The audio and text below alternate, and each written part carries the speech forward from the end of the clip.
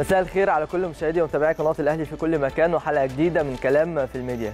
النهارده حلقة مهمة جدا جدا لأن إحنا عندنا أخبار كتير بتتعلق بالنادي الأهلي وكمان بتتعلق بمنتخبنا الوطني المصري اللي عنده مباراة غاية في الأهمية إن شاء الله الساعة التاسعة مساء. بالتالي أخبار هتكون كتير جدا جدا وهيكون في عليها تعليق كبير جدا وفي أخبار مهمة بالتحديد عن النادي الأهلي. هنتكلم عنها بكل التفاصيل بعد ما نشوف أهم العناوين وكمان خليني أقول لحضراتكم إن الجزء الثاني من حلقة النهارده هيشرفنا وينورنا في الاستوديو أستاذ إبراهيم داوود مدير تحرير جريدة الكرة والملاعب. كمان ما تنسوش النهارده في سؤال للحلقة توقعاتك لمباراه مصر وأوغندا النتيجة هتكون كام؟ مستنيين تواصل حضراتكم معانا من خلال صفحات قناه الأهلي المختلفة على السوشيال ميديا تويتر فيسبوك إنستجرام.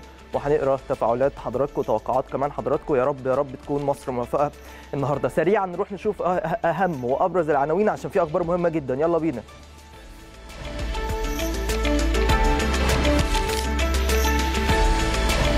الخطيب يكلف مرتجي بالسفر لإنجلترا لإتمام صفقة رمضان صبحي.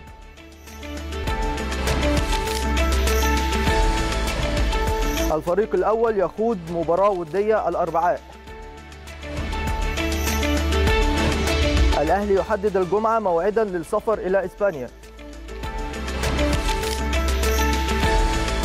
الليلة المنتخب يلاقي أوغندا وعينه على صدارة المجموعة. الجري هدفنا تحقيق العلامة الكاملة. بسبب لا نخشى الجماهير المصرية المرعبة. وأخيرا جهاد جريشة حكما لمباراة السنغال وكينيا.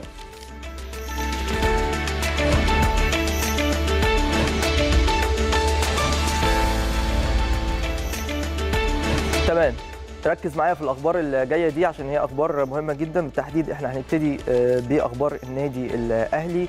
واللي بيستعد الفترة دي طبعا لموسم جديد وفترة تحضيرية مهمة جدا بالنسبة للفريق قبل السفر إن شاء الله لإسبانيا فجر يوم الجمعة القادم. لكن الأهم وأهم أخبار النهارده بالتحديد فيما يتعلق برمضان صبحي.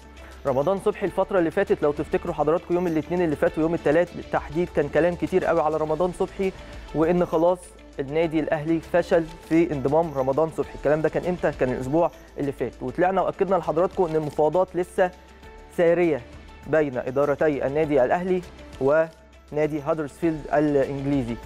فبالتالي زي ما أكدنا على حضراتكم وقلنا إن المفاوضات لسه موجودة ولسه في كلام ولسه في تفاوض كبير جدا ما بين الأهلي وهادرسفيلد الجديد إيه؟ الجديد إن الكابتن محمود الخطيب المشرف على الكرة ومسؤول عن كرة بالنادي الأهلي ورئيس النادي الأهلي طبعا كلف المهندس خالد مرتجي عضو مجلس إدارة النادي ووزير خارجية النادي الأهلي بالسفر لإنجلترا لحسم هذا الملف بشكل سريع. ليه؟ لأن الفترة اللي فاتت كان المراسلات والخطابات كتيرة جدا ما بين الأهلي وهادرسفيلد وكانت بتاخد وقت كبير جدا فبالتالي الموضوع اتأخر قوي.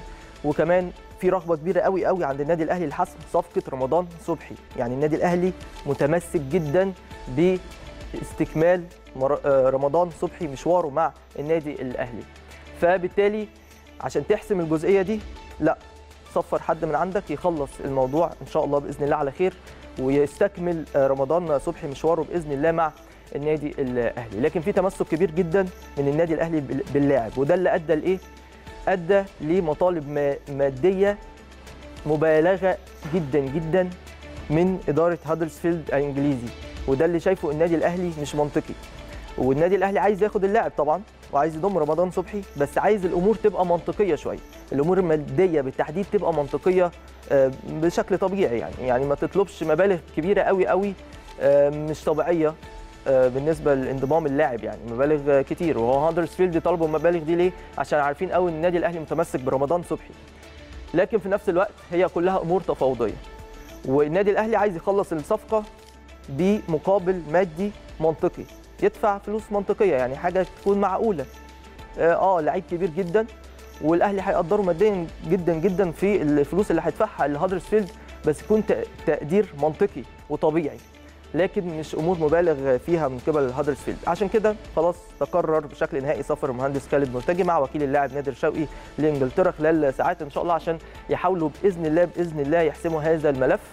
وإن شاء الله رمضان صبحي يستكمل مشواره مع النادي الأهلي. رمضان صبحي عقده بينتهي النهارده. عقد الأعارة بينتهي النهارده مع النادي الأهلي. كنا جايبينه أعارة ست شهور من هاندرسفيلد الست شهور خلاص خلصوا. النهارده بالتحديد تخلص. 30 6 تخلص إعارة رمضان صبحي.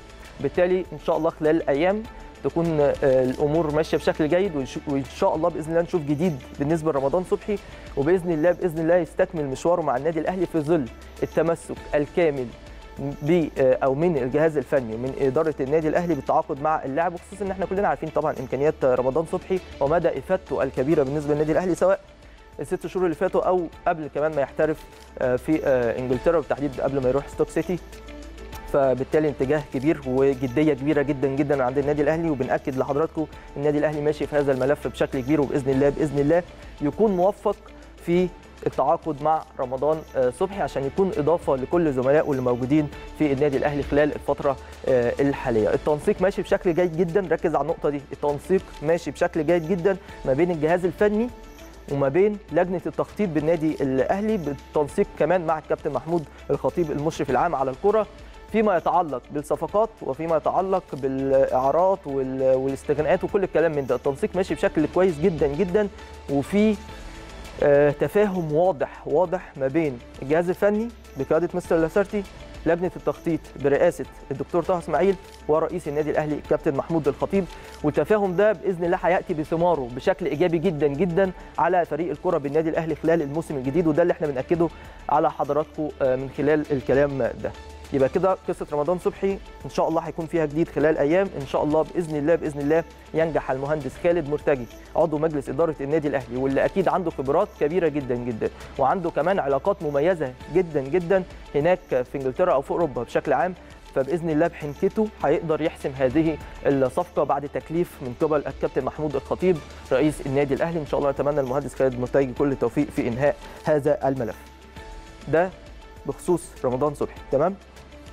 لكن في جزئية أخرى مهمة جدا في النادي الأهلي وبالتحديد فيما يتعلق بفريق الكرة الأول بالنادي الأهلي. وهو بيتعلق بإيه؟ بشباب النادي الأهلي. عندنا بعض اللاعبين الشباب من قطاع الناشئين بيتمرنوا مع الفريق الأول لكرة القدم خلال الفترة الحالية وخلال التحضيرات الحالية للموسم الجديد ولاعبين مميزين قوي. ومستر لاسارتي معجب ببعضهم بشكل كبير جدا جدا جدا وشاف إن هم هيكونوا إضافة للفريق الأول. فبالتالي تقرر سفرهم مع الفريق إن شاء الله لإسبانيا عشان مستر لاسارتي يتفرج عليهم بوقت أكبر مساحة أكبر بتركيز أكتر يشوف قدراتهم إيه إمكانياتهم إيه إمكانياتهم كمان التكتيكية والخططية ذهنيا عاملين إيه. كل الأمور دي هتبان بشكل أكبر فين؟ في المعسكر إن شاء الله في إسبانيا. فعشان كده في عدد من الشباب المميزين جدا اللي هيكونوا متواجدين مع النادي الأهلي خلال الفترة الجاية في معسكر إسبانيا. وده بالتحديد برضو بالتنسيق ما بين الجهاز الفني لجنة التخطيط الكابتن محمود الخطيب وخصوصا إن مستر لاسارتي شايف إن في بعض اللاعبين اللي يستحقوا إن هم يكونوا متواجدين مع النادي الأهلي خلال الموسم الجديد. آه البعض ممكن يكون مركز بشكل كبير وكلنا في الحقيقة يعني بنركز بشكل كبير في موضوع الصفقات واللاعبين اللي هيجوا وكلام من ده. لكن النادي الأهلي ماشي في اتجاهين. اتجاه بتدعيم الفريق ببعض الصفقات اللي محتاجها النادي الأهلي. اللي محتاجها النادي الأهلي. الأهلي مش بيتعاقد مع صفقات وخلاص ومش بيجيب كم هائل من الصفقات عشان يبقى اسمي. أنا إيه جبت لعيبة كتير قوي وعملت اللي عليا ومش عارف إيه. النادي الأهلي مش طريقته خالص. مش ده السيستم بتاع النادي الأهلي. النادي الأهلي بيشوف النواقص اللي عنده إيه وبيدعمها. فده الاتجاه الأولاني والنادي الأهلي ماشي فيه بشكل مميز جدا. تمام؟ الاتجاه الثاني وهو خاص بقطاع الناشئين في النادي الأهلي واللاعبين اللي يستحقوا إن هم يكونوا متواجدين في الفريق الأول واللي ممكن يدعموا الفريق في الموسم الجديد فنيا بشكل مميز ده الاتجاه الثاني فبالتالي النادي الأهلي ماشي في الاتجاهين دول بشكل مميز جدا وإن شاء الله بإذن الله هنلاقي قوام متكامل كامل متكامل للنادي الأهلي في الموسم الجديد من حيث اللاعبين وكمان من الجانب الإدارة الفنية اللي فيه ثقة كبيرة جدا بمستر مارتين لاسارتي اللي جه في ظروف صعبة قوي في الموسم اللي فات جه في نص الموسم ومباريات كلها ورا بعض صعبة جدا. فبالتالي إن شاء الله عنده فرصة مهيئة وكلام بنعيده وبنأكده على حضراتكم بإذن الله هيكون عنده فرصة مهيئة جدا جدا لإيصال الفكر الفني لمستر لاسارتي للاعبين. ده بإذن الله هيحصل من خلال المحاضرات الكتيرة بالمناسبه النهارده في محاضرات وامبارح كان في محاضرات كلها محاضرات فنية وتكتيكية وخططيه آه، مستر لاسارتي بيتكلم فيها مع اللاعبين. ومن خلال معسكر إسبانيا إن شاء الله الفريق هيسافر يوم الجمعة اللي جاية فجر الجمعة بالتحديد إن شاء الله لإسبانيا عشان يقعد حوالي 11 12 يوم هناك يرجع منتصف الشهر ال- آه، اللي هيبتدي بكرة إن شاء الله. وإن شاء الله بإذن الله تكون مرحلة فيها كم كبير جدا من التوفيق يحالف النادي الأهلي في التحضيرات الهامة جدا للموسم الجديد المليء والمليء بالكثير من التحديات.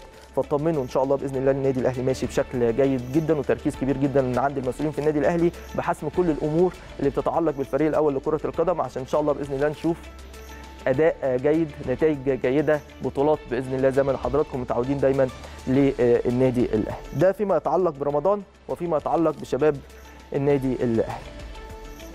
طيب برنامج الفريق الفترة الجاية هيكون ماشي إزاي؟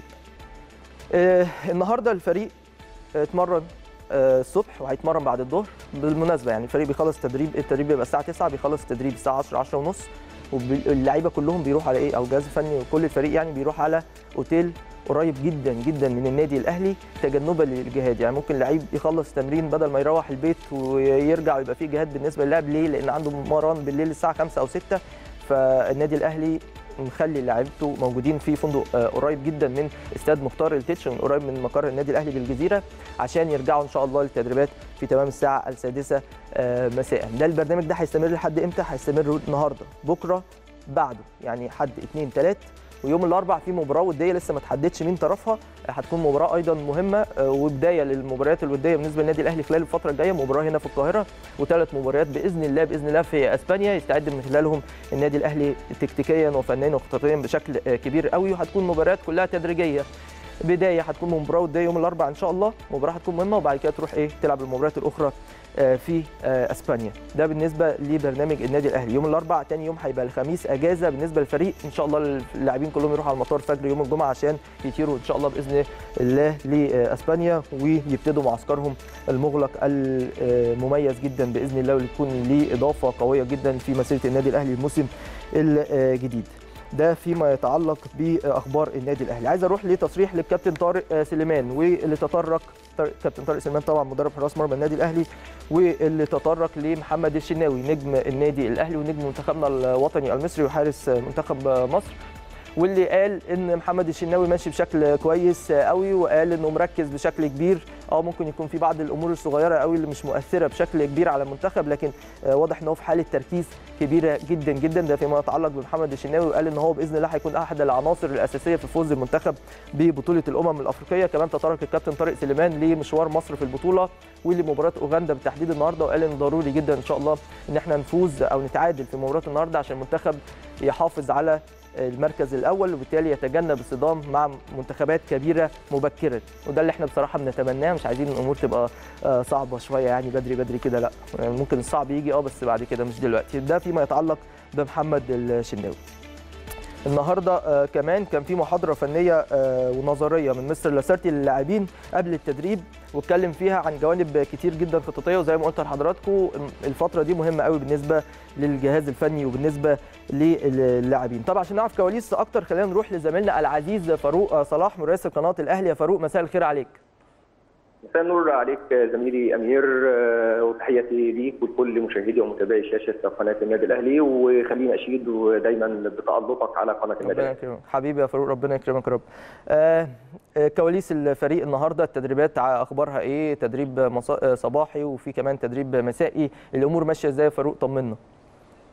خلينا ن- نوضح الأول يا أمير إن الفترة الحالية والفترة القادمة طبعا بتبقى فترة الإعداد للموسم الجديد آه، فيها التركيز طبعا على النواحي ال- البدنية النواحي الخططيه فبالتالي الجهاز الفني للفريق الأول للنادي الأهلي قرر إقامة المران على فترتين فترة صباحية.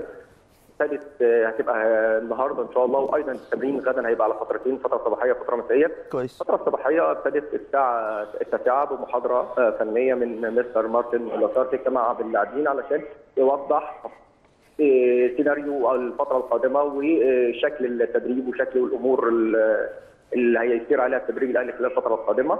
آه، بدأ ال- المران وفي كان في جزء من المران قاده مستر أليخاندرو المخصص ال- الأحمال طبعا حاطط برنامج علشان اللعيبة هتمشي عليه خلال الفترة ال- القادمة وكان هناك جانب آه، خططي لمجموعة قادها مستر سباستيان المدرب المساعد آه. للتركيز على اللعب من لمسة واحدة وبعض الأمور الفنية والخططية آه، تألق فيها بشدة يعني لاعبي النادي الأهلي ومجموعة منضمه يا أمير من فريق الشباب في النادي الأهلي قول لي بقى اساميهم انت أكيد ملم بيهم يا فاروق آه. بشكل كبير قول لنا أبرز اللاعبين اللي متواجدين مع الفريق من الشباب بالتحديد مين موجود معانا من فريق الشباب آه، يوسف علاء و- وأنا يعني خليني أوضح لك اللاعب بمركزه برضه عشان كويس. كتير من مهم- آه، مهم طبعاً، آه، اتفضل. مهمه جدا آه. آه آه، يوسف علاء ده كابتن فريق الشباب النادي الأهلي وبيلعب في الجناح الهجومي الأيمن والجناح الهجومي الأيسر تمام آه، موجود هشام شعبان هشام بيجيد لعب في مركز رأس الحربة وأيضا مميز. هشام بصراحة آه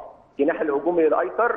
آه، موجود فادي فريد وفادي فريد آه، ده مهاجم صريح آه، فادي. موجود عربي بدر وعربي لاعب مواليد 2001 وبيلعب في مركز قلب الدفاع وبيلعب أيضا في مركز defender في خط الوسط. موجود محمد عبد المنعم ومحمد عبد المنعم ده قلب دفاع فريق آه، 99 مم. موجود مصطفى عزت مصطفى عزت لعيب جوكر يعني بيلعب في جميع مراكز خط الوسط بيلعب defender بيلعب على الجناحين بيلعب تحت الفراودة. ده لاعب أيضا من اللعيبة المميزة مصطفى عزت كويس. آه، موجود صلاح أوتاكا وصلاح أوتاكا لاعب خط وسط آه، مدافع مم. موجود الحارس آه، فريق 99 آه، رمضان أبو حطب مم. موجود معهم آه، في الفريق موجود ميشو عمارة ميشو عمارة قلب دفاع فريق لاعب ال- مميز برضو مش عمر آه. مش واحد من اللعيبة وواحد من اللعيبة اللي بيتكلم معاها مستر مارك لاسارت كويس. سيد عبد الحفيظ كويس. المجموعة تركيز عليها خلال الفترة القادمة مم. خلاص آه، بعض النصائح بياخدوها أيضا من اللعيبة من الموجوده مع معاهم في المران في تركيز على مجموعة فريق آه، شباب النادي الأهلي إن شاء الله اللي هتكون هي خير إمداد للفريق خلال طبعاً. الفترة القادمة. طبعا. المرحلة المستقبلية بالنسبة للنادي يعني ده شيء مهم آه، جدا جدا. آه، كلهم مسافرين مع الفريق المعسكر يا فاروق ها؟ بالظبط. آه كلهم يا أمير خليني أقول لك إن هم كلهم مسافرين إن شاء الله مع مع الفريق. مم. آه، إحنا حاليا ابتدى المران آه، المران النسائي ابتدى انطلق الساعة 6 كان مستر مارتر لاسارت اجتمع برضه مع اللاعبين. لمدة 10 دقائق اتكلم مع بعض مع اللاعبين في آه، منتصف الملعب بعض. الأمور وجهها. خليني برضه أقول لك نقطة مهمة جدا. كان في آه، يعني نقدر نقول اجتماع بسيط مصغر كده ما بين مستر مارتن لاسارتي وصلاح. محسن بيديله بعض التعليمات وبيكلم صلاح على الفترة الق- القادمة وإن هو واحد من اللعيبة اللي بيعتمد عليها وناوي يعتمد عليها خلال الفترة القادمة أجل التجهيز النفسي لصلاح محسن ليعود من جديد لخط آه، هجوم النادي الأهلي. الأمر الثاني يا أمير خليني أقول لك إن زي ما قلت لحضرتك إن المران هيبقى النهارده و- وغدا إن شاء الله على فترتين هيبقى في لقاء ودي للفريق إن شاء الله يوم آه، الأربعاء إن شاء الله. الأربعاء القادم. هيتم تحديد الطرف اللقاء. آه هيكون هناك راحة يوم الخميس والسفر إن شاء الله يبقى فجر يوم الجمعة القادم. آه، للمعسكر الأوروبي. وتم التحديد أو التنسيق لثلاث لقاءات ودية هت- هتقام خلال المعسكر. تمام. طيب فاروق عايز أسألك على مصطفى شوبير لأن عندي خبر إن هو ما شاركش في التدريبات الجماعية بشكل طبيعي واكتفى بالتدريبات في الجيم. هل عنده إصابة ما مثلا أو بيريح أو الأمور بالنسبة له ماشية إزاي؟ لا هو حتى آه، التمرين المسائي مصطفى شوبير ما شاركش فيه. واكتفى صباحا بأداء بعض التمارين في الجيم كان حاسس باجهاد وفضل الكابتن طارق سليمان إن هو يديله فترة راحة فمصطفى النهارده واخد راحة من التمرين. لكن إن شاء الله هيبقى موجود من آه، الغد إن شاء الله في المران الصباحي والمران آه، المسائي آه، وبالتالي إن رمضان أبو حطب الحارس فريق الشباب آه، 99 أيضا موجود. لكن اكتفى وفي أحمد طارق سليمان أعتقد برضه. وأحمد وأحمد طارق سليمان. موجود أيضا. آه، لكن اكتفى مصطفى بأداء المران آه، بعض التمارين في الجيم. آه، في المران الصباحي وأيضا المران المسائي. تمام. أنا بشكرك يا فاروق. آه، شكرا جزيلا. زميلنا العزيز فاروق آه، صلاح مراسل قناة الأهلي واللي قال لنا كل الأخبار والكواليس الخاصة بالفريق على مدار اليوم النهارده. وزي ما حضراتكم عارفين مران صباحي ومران مسائي والنادي الأهلي هيستمر المرحلة اللي جاية كلها بالطريقة دي لحد يوم الأربعاء. إن شاء الله هيكون مباراة ودية للفريق أول مباراة ودية في فترة الإعداد. بعد كده يوم الخميس راحة يوم الجمعة إن شاء الله يروحوا فجر الجمعة بالتحديد يروحوا المطار عشان بإذن الله يسافروا لأسبانيا. كل التوفيق للنادي الأهلي. إن شاء الله مرحلة آه، غاية في الأهمية. ده فيما يتعلق بالنادي الأهلي. فيما يتعلق بمنتخب مصر شغلنا الشاغل طبعا خلال الفترة الحالية وأكيد كلنا بنساند المنتخب وكلنا بنشجع المنتخب وعندنا مباراة قوية قوي قوي النهارده. أقوى فريق معنا في المجموعة هو أوغندا. دي حقيقة. آه، فريق أو منتخب عامل نتائج جيدة جدا. كسب أول مباراة الكونغو 2-0 اتعادل المباراة الثانية مع زيمبابوي 1-1 أو آه أعتقد 1-1 فبالتالي آه، فريق آه، قوي فريق محترم مكون نفسه بقاله فترة آه، كبيرة بشكل جيد. بقالهم سنين بيكونوا في هذا الفريق وبيضم عناصر آه، مميزة آه، جدا جدا. حسن واسو آه، آه، فاروق ميا أهم لاعب عندهم هو حارس المرمى آه، دينيس أونيانجو. فبالتالي منتخب قوي هنشوف مباراة قوية جدا. أهداف مصر هي هي أهداف آه، أوغندا لكن الأفضلية شوية لمصر. إيه هي؟ إنك ممكن يا إما تتعادل يا إما تكسب عشان تحتل وتخلص المرحلة دي وأنت أول مجموعة عشان تتجنب مواجهة الجزائر أو السنغال. السنغال هي الأقرب يعني. ونفس الهدف بالنسبة لأوغندا بس هدفهم أصعب شوية إن هم لازم يكسبوا لا قدر الله لا قدر الله منتخب مصر النهارده عشان يتأهلوا أول مجموعة ويتجنبوا أيضا مواجهة السنغال. الكل عايز يتجنب مواجهة السنغال رغم إن أي منتخب عايز ياخد بطولة لازم آه، ما يفكرش يقابل مين أو يتجنب مين أو كلام من ده. لا خالص يعني. لكن أهم حاجة إن أنت ما تقابلش منتخبات قوية في مرحلة بدري عشان الأمور ما تتصعبش عليك بشكل كبير. فبالتالي إن شاء الله نتمنى إن المنتخب النهارده يخرج من المباراة بنتيجة إيجابية تؤهله كأول مجموعة لدور ال 16 وتبتدي بقى المباريات الجد والصعوبة شوية تبتدي والهزار مش هيبقى موجود. لازم يكون في تركيز كبير جدا منتخب مصر خلال المرحلة الجاية. بإذن الله إن شاء الله يكونوا موفقين في الوصول لنهائي هذه البطولة ومن ثم تحقيق هذا اللقب الغالي آه، جدا. النهارده بالمناسبة في مباريات آه، كتير في أربع مباريات.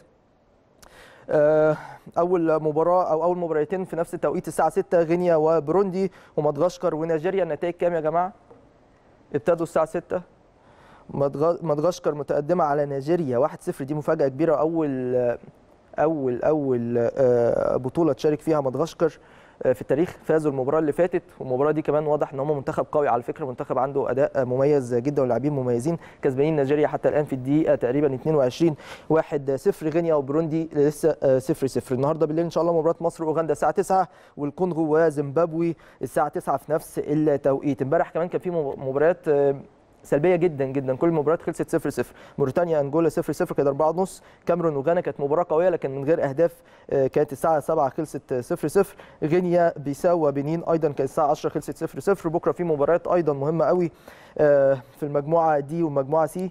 في المجموعه دي هيكون ناميبيا وساحل العاج الساعة 6 المغرب وجنوب أفريقيا الساعة 6 وكمان هيكون في في المجموعة سي كينيا والسنغال الساعة 9 وتنزانيا والجزائر الساعة آه، 9 دي كل المباريات الخاصة ببطولة الأمم الأفريقية. إن شاء الله وكل التوفيق لكل المنتخبات لكن الأهم التوفيق يكون أكتر بإذن الله لمنتخبنا الوطني المصري. أهم أخبار اللي كان في الصحف إيه؟ خلينا نروح نشوف. يلا بينا.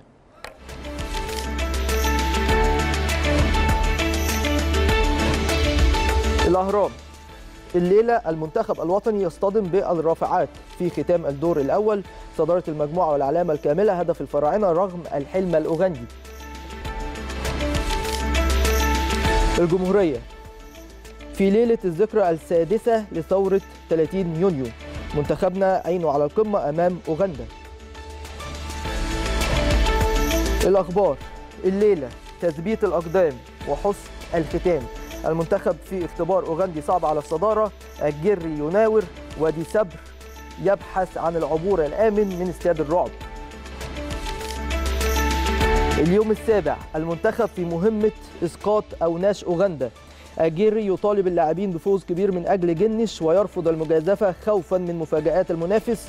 ودي سبر هدفه الفوز واعتلاء المجموعة.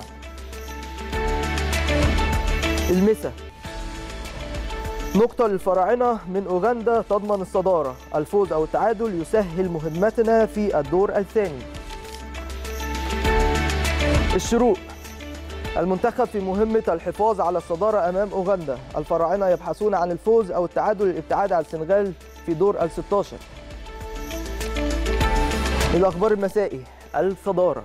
المنتخب يواجه أوغندا وعينه على قمة المجموعة. المصري اليوم قوة الفراعنة تهدد طموح أوغندا في صراع أبناء النيل. الجمهورية. أجري سألعب بالقوة الضاربة للتأهل بالعلامة الكاملة. دي صبر لا نخشى جماهير مصر المرعبة. الأخبار شعار الفراعنة الجديد. مرر لتريزيجيه ووسع لصلاح. ماشي.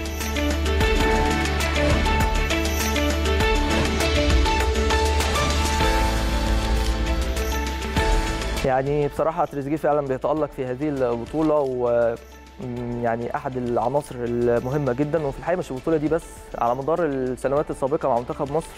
تريزيجيه طبعا من أبرز العناصر اللي اهلت منتخب مصر كعالم 2018 بجانب محمد صلاح. كل لاعبي المنتخب طبعا لكن في دايما عناصر بتبقى مؤثرة جدا وهي اللي بترجح الكفه منهم تريزيجيه. تريزيجيه نتمنى له كل التوفيق برفقة صلاح وزملائهم إن شاء الله في تحقيق المطلوب. نبتدي بالأهرام. وبتقول إن الليلة المنتخب الوطني عنده مباراة قوية جدا مع الرفعات الأوغندي. في مباراة غاية في الأهمية في ختام الدور الأول ومهم جدا لمنتخب مصر إن شاء الله إن هو يتعادل أو يكسب هذه المباراة. طبعا إحنا نفسنا المنتخب يكسب مش عايزينه يتعادل يعني في كل الأحوال يعني. إحنا بنقول الفرص بتبقى ماشية إزاي يعني. فمهم إن المنتخب كمان يكسب ويقنع النهارده الشعب المصري بالأداء بالروح. ده مهم قوي قوي قوي طبعا الماتشين اللي فاتوا زيمبابوي وكونغو كان الأداء سيء قوي آه النتيجة اتحققت. ما ما خدتش ولا هدف في شباكك. أوكي ما ما استقبلتش ولا هدف يعني. لكن في نفس الوقت الأداء كان سيء جدا جدا جدا. بعض الفترات القليلة قوي اللي ممكن تحس بخطورة المنتخب وهي الفترات القليلة دي بالمناسبة اللي جبنا فيها الأهداف يعني. ودي ميزة مش عيب على فكرة.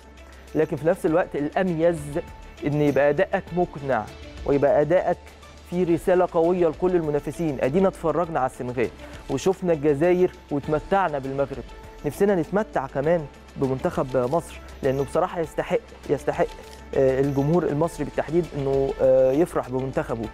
النتائج أهم آه النتائج طبعا أهم لكن في نفس الوقت الأداء بيطمن والجمهور المصري عايز يطمن. فدي جزئية مهمة إن شاء الله من خلال مباراة النهارده نشوف أداء أفضل.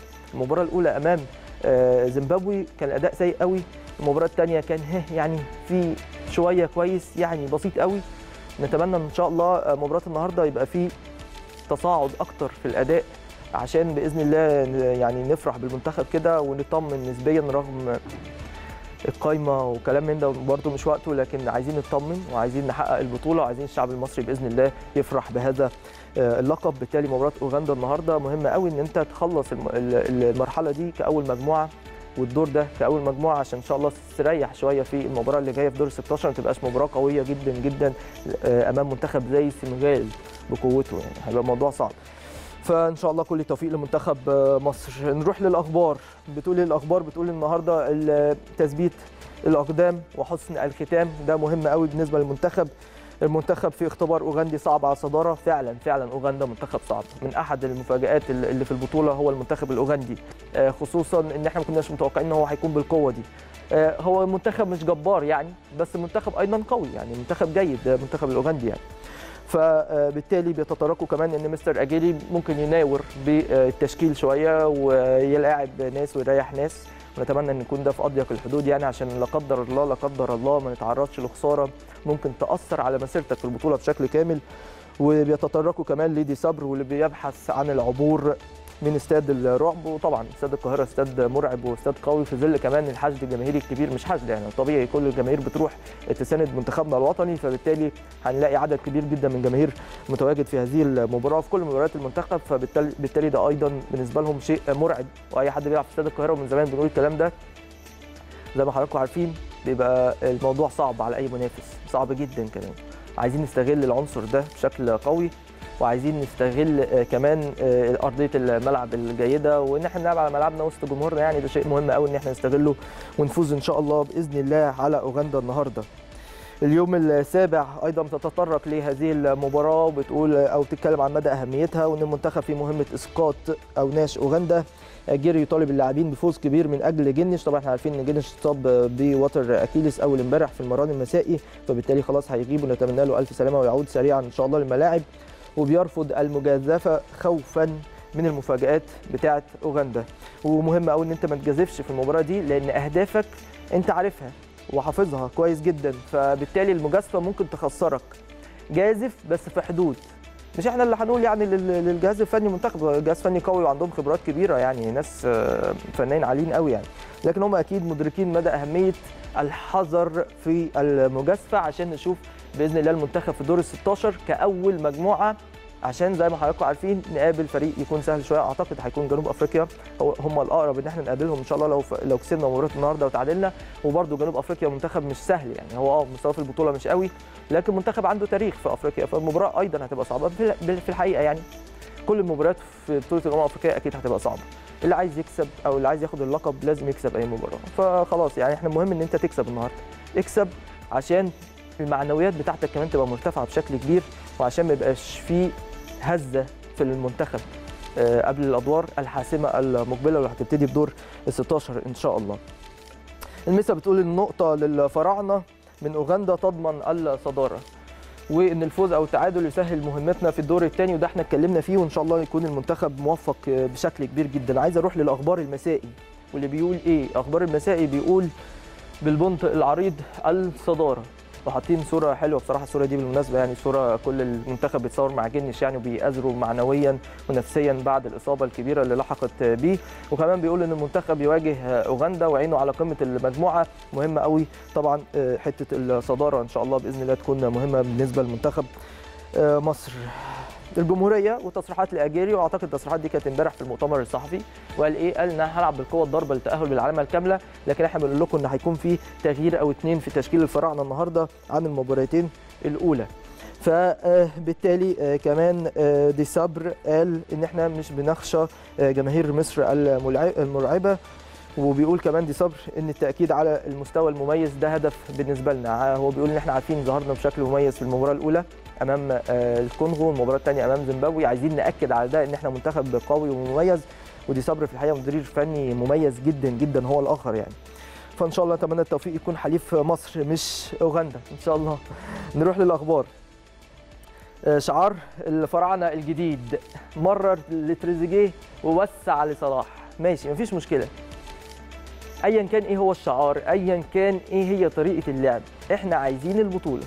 طبعا تريزيجيه مؤثر جدا ومهاريا عالي آه، في المراوغات بصراحة مميز قوي شفنا الكلام ده في الماتشات اللي فاتت وعارفين دي دي سمعة تريزيجيه يعني عامة مميز جدا في مهاراته يعني وسرعته كمان مميزة آه، جدا. كان عنده قبل البطولة حتة ناقصة شوية إن هو ما بيخلصش الكره قدام الجون بشكل جيد ال- اللمسة الأخيرة ما بتحصلش بالشكل المطلوب من تريزيجيه لكن المباراة الأولى جاب هدف رائع في الحقيقة اللمسة الأخيرة بالنسبة له بعد مشوار آه، جيد بالكورة في مباراة زيمبابوي فباصي لتريزيجيه أو وسع لصلاح أي حاجة أي حاجة ده إن شاء الله بإذن الله يكون في صالح منتخب مصر الناتج في النهاية هو إيه؟ المنتخب يفوز وإن اللقب يجي ويبقى اللقب رقم 8 لمنتخب آه، مصر خلال الفترة آه، اللي آه، جاية.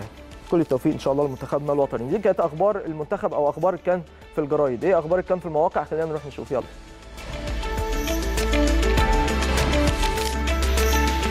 يلا كورة تحطيم رافعات أوغندا هدفا لمصر لدخول الطريق الأسهل بكأس أمم إفريقيا صدى البلد الشناوي والمحمدي على رأس التشكيلة المثالية للجولة الثانية البوابة سبورت. بشرة خير للفراعنة قبل مواجهة أوغندا. البوابة سبورت. التاريخ ينحاز للفراعنة في مواجهة أوغندا ب 20 انتصار. اليوم السابع التشكيله المتوقع لمنتخب مصر أمام أوغندا. دونجا بدلا من النني. الوطن سبورت. جوزيه على أجري راحة محمد صلاح ومروان محسن أمام أوغندا. الفجر الرياضي أول مباراة لجهاد جريشه في أمم إفريقيا 2019 بوابة الأهرام نور الدين يعود للقمة من بوابة الكان 2019 الشروق زيمبابوي والكونغو الديمقراطية تتمسكان بالفرصة الأخيرة في التأهل للدور الثاني بأمم إفريقيا. كورة الحاج ديوف بطل الكان لن يخرج عن هؤلاء. فيتو منتخب المغرب يتسلح بالقوى الضاربة لمواجهة جنوب إفريقيا. سوبر كورة مدرب جنوب أفريقيا. المغرب منتخب قوي وسنبذل قصارى جهدنا للفوز.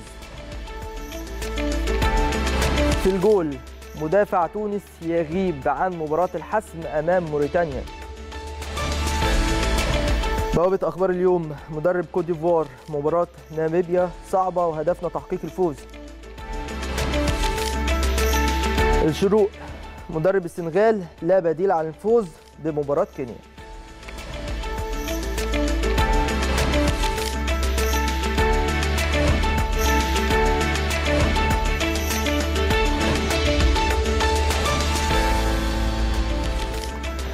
في الحقيقة في إجماع طبعا وإجماع بديهي جدا لكل الجرايد وكل المواقع على إن المنتخب لازم يحاول يسلك الطريق الأسهل في بطولة الأمم الأفريقية.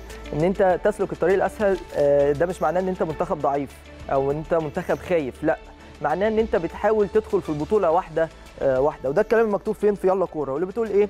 إن تحطيم رافعات أوغندا هدفا لمصر دخول الطريق الأسهل بكأس أمم أفريقيا. آه هتكسب النهارده أو تتعادل تبقى اول مجموعه هتقابل منتخب أضعف أحسن ثلاث توالت من المجموعة الثالثة أو الرابعة أو الخامسة. فبالتالي فرصة بالنسبة لك هتبقى كويسة. نتمنى إن إحنا ما نجيش عند المجموعة الخامسة لأن وارد يبقى فيها تونس وارد يبقى فيها مالي وارد يبقى فيها مين كمان؟ آه أنجولا. فبالتالي هيبقى الموضوع أصعب شوية من جنوب إلا لو كانت أنجولا. أنجولا برده مستواها مش قوي ايا كان يعني. المهم إن أنت تاخد الخطوة أو الخطوات بطريقة تدريجية. ده مهم قوي بالنسبة لمنتخب مصر. عشان كده كل المصريين بيتمنوا النهارده إن شاء الله إن المنتخب ما يخسرش. وأكيد التمني الأساسي هو الفوز بإذن الله لمنتخب مصر. صدى البلد بتقول إن الشناوي المحمدي على رأس التشكيلة المثالية للجولة الثانية وده من خلال موقع هو سكورد العالمي.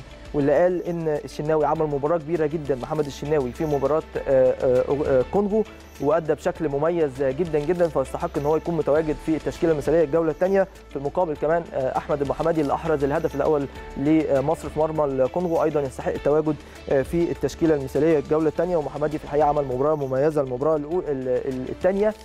عكس المباراة الأولى شوية كان الدنيا الأداء مش مش قوي بصراحة. نتمنى الكل إن شاء الله يكون في ال top form بالنسبة له إن شاء الله النهارده كمان وما تبقى من البطولة إن شاء الله بإذن الله.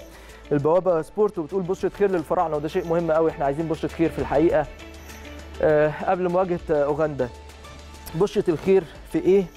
في إن المنتخب آخر مرة خسر في الجولة الثالثه من دور المجموعات كان في 98 كاس الأمم الأفريقية 98 ببوركينا فاسو لما خسرنا بهدف الشهير جدا جدا لمصطفى حجي نجم المنتخب المغربي في الوقت القاتل باكورد عالمي وخسرنا 1-0 والسنة السنة دي بالتحديد خدنا اللقب كمان كان اللقب الرابع لمصر.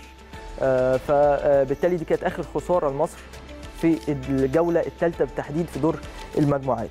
بعد كده لعبنا في بطولة الأمم الأفريقية 2000 اللي كانت في غانا ونيجيريا لعبنا بوركينا فاسو كنا متأخرين 2-0 كسبنا 4-2 في مباراة كانت كبيرة جدا ده كان في الجولة الثالثه برضه. في 2002 لعبنا زامبيا وكسبناهم 2-0 2004 تعادلنا سلبيا مع الكاميرون وخرجنا بالمناسبه تقريبا من البطولة أعتقد كانت في تونس طبعا. وتونس اللي خدت اللقب. 2006 طبعا كانت على أرضنا كسبنا كوت ديفوار حضراتكم فاكرين المباراة دي أكيد 3 1 في الجولة الثالثه 2008 تعادلنا مع زامبيا 1 1 كانت أفضل نسخة للمنتخب الوطني في 2008 2010 كسبنا بنين 2 0 وآخر بطولة كانت مباراة مصر وغانا في الجولة الثالثه وكسبنا 1 0 بهدف محمد صلاح من فاول في أول المباراة. ده كان في 2017 في الجابون. فبالتالي دي بشره خير إن شاء الله بإذن الله نستمر في هذه النتائج الجيدة. ونتمنى عدم التعرض لخسارة بإذن الله في مباراة أوغندا النهارده وإن شاء الله نكون موفقين في الفوز أو على أقل تقدير التعادل. طيب إحنا لسه مع البوابة سبورت واللي بتقول إن التاريخ بينحاز للفراعنة في مواجهة أوغندا ب 20 انتصار. قبل مباراة النهارده لعبناها 24 مرة كسبنا 20 مرة خسرنا مرتين وتعادلنا مرتين. إن شاء الله المرة النهارده تكون رقم 21 كفوز لمصر على أوغندا في كل المباريات الرسمية والودية ما بينهم يعني بالمناسبة. يعني دي الإحصائية خاصه بكل المباريات ما بين مصر وأوغندا سواء كانت رسمية أو وديا إن شاء الله يكون الانتصار رقم 21 النهارده لمصر أو التعادل الثالث يعني. ماشي. اليوم السابع. بتقول التشكيل المتوقع لمنتخب مصر في مباراة أوغندا النهارده وبيقولوا إن دونجا هيكون بديل محمد النني. خليني أقول لحضراتكم التشكيل المتوقع. الشناوي محمد الشناوي طبعا في حراسة المرمى مش هيكون في تغيير في هذا المركز اطلاقا على مدار البطولة إن شاء الله. حتى لو الشناوي أحمد الشناوي اللي لعب طبعا برضو حارس مميز لكن إحنا خلاص بنقول محمد الشناوي هو اللي ابتدى البطولة فأعتقد هو اللي هيكمل يعني البطولة بشكل كامل. آه، خط الدفاع أيمن أشرف هيكون متواجد أحمد حجازي هيكون متواجد محمود علاء هيريح وهيلعب مكانه باهر المحمدي وخصوصا محمود علاء عنده إنذار فتجنبا لغيابه عن مباراة دور 16 ولاعيب مهم قوي محمود علاء في خط الدفاع. وكمان ده بجانب أحمد المحمدي كباك رايت. في نص الملعب طارق حامد مفيش خلاف عليه مش هيتغير. والحمد لله ما عندوش أي انذارات ولا أي حاجة وهيجاوروا النهارده بإذن الله دونجا. ده التشكيل الأقرب يعني إحنا بنقوله لحضراتكم. دونجا أيضا لعيب مميز فبالتالي النني هيريح شوية لأن النني أيضا عنده آه، انذار في المباراة السابقة. الثلث الأمامي بالنسبة لمنتخب مصر تريزيجيه عبد الله السعيد محمد صلاح. الخلاف هيكون فين؟ في خط الهجوم. مروان محسن ولا أحمد علي ولا كوكا؟ الأقرب كوكا. أعتقد يعني الأقرب إن آه، وأنا أو كلنا بنتمنى برضو إن أحمد علي ياخد آه، فرصة في المباراة دي لأن أحمد علي هداف الدوري. ممكن طبعا المباريات الدولية عن المباريات المحلية بتختلف لكن هو لعيب عنده خبرات يعني في كل الأحوال. آه، فبالتالي هنشوف مستر أجيري هيستقر على مين في خط الهجوم لكن ده التشكيل الأقرب والمتوقع بالنسبة لمنتخب مصر وننزل التشكيل في أي لحظة وإحنا معاكم على الهواء دلوقتي. هنبلغه لحضراتكم بشكل رسمي. طيب نروح للوطن سبورت. وتصريح لمستر مانويل جوزيه المدير الفني التاريخي للنادي الأهلي ومحبوب كل عشاق القلعة الحمراء. بيقول إيه؟ إن أجيري لازم يريح محمد صلاح ومروان محسن أمام أوغندا. هو شايف إن مروان محتاج إنه يريح شوية عشان يستعيد مستواه بشكل كبير وكمان شايف إن محمد صلاح محتاج إن هو آه، يريح. وكمان في متن ال- الخبر ده يعني مستر مانويل جوزيه قال إنه بيتمنى إن عبد الله السعيد كمان يريح ويلعب مكان وليد سليمان. يعني كلها رؤى فنية و لازم تفكر في نصايح داهية زي مستر مانويل جوزيه ايا كان أنت مين مدير فني يعني. لكن هو أكيد الراجل بيحلل وبيقول من وجهة نظره يعني مدير فني كبير مستر مانويل جوزيه ما حدش يقدر ينساه. من الجماهير المصرية بشكل عام مش الجمهور النادي الأهلي بس كله كله ما يقدرش ينسى مانويل جوزيه. طيب الفجر الرياضي أول مباراة لجهاد جريشة في أمم أفريقيا 2019 وأخيرا كابتن جهاد جريشة هيحكم مباراة كينيا والسنغال بكرة إن شاء الله. وبعد الجدل الكبير اللي كان عليه بعد مباراة الذهاب ما بين الوداد والترجي وإيقافه وعودته من الإيقاف بعد الكارثة اللي عملها بكاري جسامة في مباراة الإياب في تونس. آه، فبالتالي آه، كلام كان كتير جدا عن جهاد جريشة لكن موجود خلاص في البطولة وهيحكم مباراة الغد إن شاء الله ما بين كينيا والسنغال. في نفس السياق بوابة الأهرام بتقول إن إبراهيم نور الدين يعود للقمة من بوابة الكان 2019 تمام؟ بس آه، يعني هو الراجل عمل مباراة كويسة وهي كانت مباراة ما بين انجولا وموريتانيا بالمناسبة يعني يعني مباراة مش مش مش منتخبين أقوياء جدا وفي صراعات قوية قوي في الملعب وفنيا ما كانتش مباراة عالية قوي لكن هو في الحقيقة كان بيمر بحالة من عدم التوفيق المبالغ فيه. على مدار الموسم الماضي آه، آه، بالتحديد في بطولة الدوري آه، كابتن إبراهيم نور الدين أخطاء كارثية كثيرة جدا في بطولة الدوري. نتمنى نتمنى إن دي تكون بداية لعودته لمستواه لأن هو في الحقيقة أصلا حكم جيد يعني. لكن الفترة اللي فاتت كان سيء جدا أداؤه. بيتكلم بصراحة مباراة أنجولا وموريتانيا إن شاء الله تكون بداية لعودته للمستوى المعهود على إبراهيم نور الدين. وإن شاء الله نتمنى لكل حكامنا المصريين كل التوفيق خلال الفترة القادمة. الشروق بتقول إن زيمبابوي والكونغو الديمقراطية بيتمسكوا بالآمال في التأهل. إزاي زيمبابوي عندها نقطة والكونغو ما عندهاش ولا نقطة؟ الكونغو لو كس- كسبت هيبقى عندها ثلاث نقط وربما تبقى أفضل آه، توالت. أفضل أربع توالت في البطولة هنشوف النتائج هتبقى إيه. لكن فرصة زيمبابوي أكبر إن هم لو كسبوا هيبقوا من أفضل تقريبا أربع توالت في البطولة. عشان كده هتبقى مباراة قوية جدا. هي في نفس التوقيت للأسف وده طبيعي جدا. آخر جولة في أي حتة في الدنيا ما عدا مصر. في أي حتة في الدنيا ما عدا مصر. آخر جولة في أي بطولة في الدنيا ما عدا مصر بعد الدوري المصري بيبقى كله في توقيت واحد يعني. فللأسف مش هنعرف نتفرج على المباراة دي لكن المباراة هتبقى قوية جدا في الحقيقة. طيب كورة وتصريح للحاج ضيوف وبيقول إيه بطل الكان مش هيخرج عن مين بقى؟ هو قال عن مصر الجزائر الكاميرون والسنغال طبعا بلده. قال إن دول أقوى منتخبات وما أعتقدش إن كده الحاج ضيوف يتفرج على المغرب لأن المغرب منتخب قوي جدا في الحقيقة يعني لكن دي وجهة نظره. فبيقول دول أربع آه، منتخبات مرشحين للفوز باللقب مصر الكاميرون الجزائر السنغال. هو طبعا بيتمنى السنغال لكن بيقول أبرز اثنين أو أبرز اثنين لعيبة في البطولة هيفضل محمد صلاح وهيفضل ساديو ماني نجم المنتخب السنغالي. شاء الله نتمنى البطولة تكون من نصيب محمد صلاح ومنتخب آه، مصر. فيتو بتقول إيه؟ إن منتخب المغرب يتسلح بالقوة الضاربة لمواجهة جنوب أفريقيا ومنتخب المغرب خلاص آه، صعد بشكل آه، رسمي دور ال 16 لكن أكيد برضو عايزين يفضلوا أول المجموعة نفس الحال بالنسبة لكل المنتخبات اللي خلاص وصلت للنقطه رقم 6 عايزين يوصلوا للنقطه رقم 9 أو على أقل تقدير النقطة رقم 7 فبالتالي امبارح المغرب كان عندهم مران آه، بعد الفوز أول امبارح على كوت ديفوار بهدف للا شيء المباراه كانت قوية جدا في الحقيقة. آه، امبارح كان في مران 11 لعيب اللي لعبوا أساسي يريحوا والباقي اتمرنوا تدريبات آه، جيدة بالنسبة لهم. والنهارده كله بيشارك في التدريب بشكل طبيعي ده بالنسبة للمنتخب المغربي استعدادا لمباراة جنوب أفريقيا غدا إن شاء الله. سوبر كورة مدرب جنوب أفريقيا بيتكلم عن إيه؟ ستيوارت باكستر بيقول المنتخب المغربي منتخب قوي وسنبذل قصارى جهدنا للعبور. وللفوز طبعا في هذه المباراة. نتمنى كل التوفيق للمنتخب المغربي. طبعا بكل تأكيد مش المنتخب الجنوب أفريقي لكن أيضا جنوب أفريقيا عايزين يتأهلوا على أقل تقدير كافضل أربع آه، آه، ثوالث. فبالتالي هتكون هيكونوا قريبين قوي إن هم يقابلوا منتخب مصر لو كسبوا يعني. آه، دي كل الأمور الخاصة آه، بجنوب أفريقيا. هم بيتمنوا أو هم شايفين آه، بالتحديد ستيوارت باكستر المدير الفني لجنوب أفريقيا قال ان إحنا لو دعمنا الدفاع عندنا بشكل كويس قوي في المباراة دي نقدر إن إحنا نعمل نتيجة كويسة أمام المغرب. كل التوفيق للمنتخب المغربي الشقيق رغم إن إحنا عايزين نلاعب جنوب أفريقيا في الحقيقة عايزين نلاعب آه، منتخبات تانية. لكن مهم يعني. في الجول مدافع تونس يغيب عن مباراة الحسم أمام موريتانيا. مين هو المدافع؟ أيمن بن محمد مدافع الترجي التونسي والمنتخب التونسي عنده إصابة في العضلة الضامة فبالتالي مش هيكون متواجد في مباراة آه، موريتانيا. طيب بالنسبة لبوابة أخبار اليوم مدرب كوت ديفوار إبراهيم كامارا قال إيه؟ قال مباراة ناميبيا صعبة وهدفنا تحقيق الفوز كوت ديفوار عندهم ثلاث نقاط عايزين يضمنوا التأهل بفوز على منتخب ناميبيا وفي الحقيقة منتخب ناميبيا منتخب جيد لكن عنده مشكلة في إنهاء الهجمات على المرمى بالتالي ما كسبوش ولا ماتش ولا تعادلوا. وكمان ما جابوش ولا هدف بالعكس جابوا هدف في مرماهم في مباراة المغرب. لكن المباراه فعلا مباراة قوية جدا والمنتخب الناميبي على الأقل لو مش هيصعد وصعب خلاص إن هو يصعد طبعا. آه، فبالتالي عايز يعمل أو ينهي البطولة بشكل جيد أمام المنتخب الايفواري فهنشوف الأمور هتخلص على إيه. نروح للشروق. وتصريح لأليو سيسي المدير الفني آه، للمنتخب السنغالي واللي قال لا بديل عن فوز بمباراة كينيا. السنغال عندهم ثلاث نقط خسروا المباراة الأخيرة أمام الجزائر.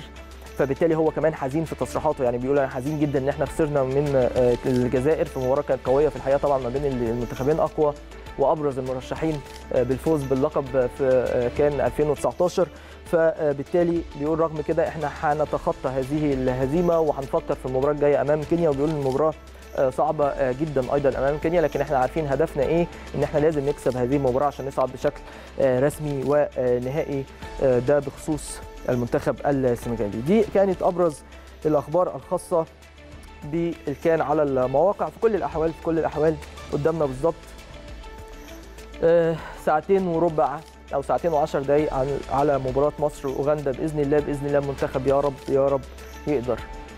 اولا نتيجة جيدة. فوز جيد ثانيا الأداء. عايزين الأداء يكون كويس. عايزين نتبسط بمنتخب مصر كده من الآخر يعني. ما نبقاش قاعدين متضايقين. الماتشين اللي فاتوا بصراحة الواحد قاعد وهو بيتفرج على الماتش كلكم أكيد قاعدين متضايقين. سواء أنت في الملعب بتتفرج أو أنت في البيت قاعد بتتفرج أو أنت على القهوة مع أصحابك قاعد تتفرج مش ده المنتخب الوطني المصري. مش ده المنتخب اللي عايز ياخد اللقب. طبعا مش معنى كده إن إحنا صعب ناخد اللقب. لا إحنا أبرز المرشحين وهنفضل أبرز المرشحين بالفوز باللقب ده. إزاي؟ هيبقى بمساندة الجماهير بدعوات المصريين طبعا بأرضنا ملاعبنا اللي إحنا بنلعب عليها بجمهورنا العظيم والكبير اللي بيحضر كل المباريات. بالتالي إن شاء الله التركيز كل التركيز مطلوب حتى لو أنت صعدت رسميا لدور ال 16 خلاص أنت صعدت الموضوع اتحسن والدنيا كويسة. لكن أهم حاجة إن أنت تبقى مركز في إنك تفوز في مباراة النهارده. التعادل ما تفكرش فيه. آه فرصة بالنسبة لك متاحة وهتبقى أول مجموعة برضه. لكن لو فكرت في التعادل هيبقى برضه ممكن تتعرض للهزيمة وده اللي إحنا ما نتمناهوش اطلاقا يعني منتخب مصر في المرحلة الحالية. في ظل كلام كتير وفي ظل الهزيمة هتعمل كلام أكتر وممكن تعطل المنتخب بشكل كبير معنويا ونفسيا وذهنيا قبل مرحلة غاية في الأهمية وأكثر صعوبة بداية من دور ال 16 بعديه الأكثر صعوبة طبعا دور الثمانيه والأربعة والنهائي وربنا يستر إن شاء الله كل كله هيبقى خير بالنسبة لمنتخب مصر. لكن الأهم بإذن الله بإذن الله إن يكون في تركيز كبير اللاعبين يكونوا حاسين بالشعب المصري اللي عايز يفرح بيهم واللي عايز يحس إن عنده منتخب قوي جدا. عندنا جهاز فني محترم بالمناسبة. يعني مستر اجيري مدرب جيد جدا. آه للأسف الشديد قبل البطولة بفترة المباريات اللي كنا بنلعبها في التصفيات اللي هو كان موجود فيها كان بيلعب بطريقة لعب معينة وكانت طريقة في الحقيقة كويسة قوي مش عارف إيه اللي خلاه غيرها شوية.